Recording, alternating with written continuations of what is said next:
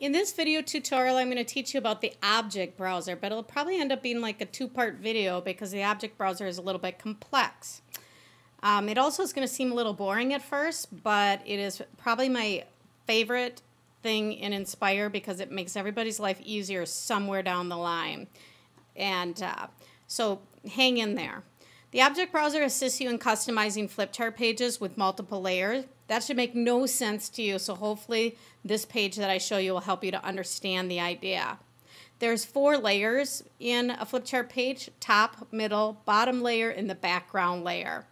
And in general, the top layer is made up just of things that we call annotations. Annotations are any marks you may make on your page with either the pen tool, which is right over here, or the highlighter tool, which is this tool on your page. So for instance, if I just click on the highlighter and I scribble, that ends up automatically being on my top layer. Your middle layer is made up of a variety of images and objects. You have a bottom layer if you need it, and the background is really like your background color or anything you absolutely don't want to move whatsoever. So, big deal.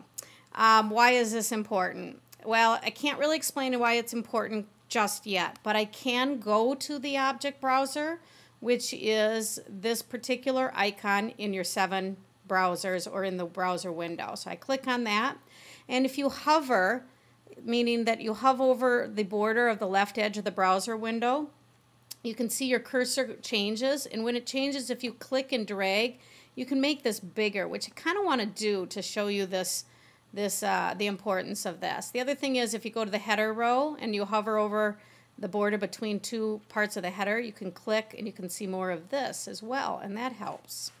So now you can fully see my object browser. This is just simply a list of everything that's on the page and what order it is in terms of layers. So for instance, if you go look at the top layer over here in the browser. I click on it, you can see that's that pink parallelogram. And on top of that are the pen marks and the highlighter marks. Now watch what happens if I just decide to drag that highlighter mark that I actually I'm going to move it over so you can see right now that highlighter mark is on top of parallelogram and now if I drag it and put it under the parallelogram just with a drag and drop it goes behind and you can see those little crosshairs that are on top of the highlighter now. I'll show you another example later. So this is a great way for you, number one, to see all the objects on your page. Number two, to quickly change their order. So now in the middle layer is this arrow as an example and the and that purple diamond. So for example, I could take that diamond right there and it's in front of the blue, I mean, excuse me, the green parallelogram, which I click over here to select. But I'm going to take that diamond. What if I move it to the very bottom behind everything in the background? What's going to happen to the diamond? If I pull it down here, I got to let go when you see a line in your browser there. I let go and it's disappeared. Doesn't mean it's gone.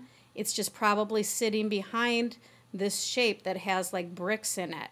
If I bring it back up a couple spots, it is visible and you can see it now um, behind other things. So um, the background layer is important because that's everything that you don't want to move, just you want that glued onto your page. So right now, if I click on the image, let's see, what can I select down in my background here? You can't even see it because if I, I can't even move what's in my background, which is the bricks, unless I move it up a layer. So, and also this white box that's behind everything, I can't move that because that's in my background layer as well. You can see I can try to drag it, can't do. But what happens if I bring that white box, which is my last thing in my list here, and I bring it up to the very top? It will cover up everything on the page. That stuff's not gone just hiding behind the white box. So you can see that the object browser is really important to get a quick snapshot of all your objects that are on the page, ones that might be hiding, and to easily change their layers. That comes into um, effect or importance later on as you learn more about Inspire. But that's a good overall view of the object browser.